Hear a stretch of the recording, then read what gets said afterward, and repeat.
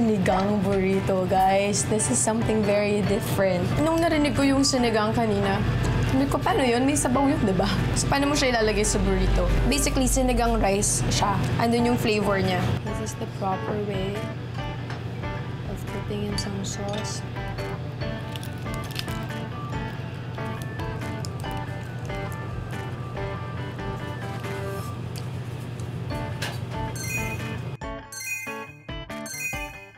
So good! No, you can't.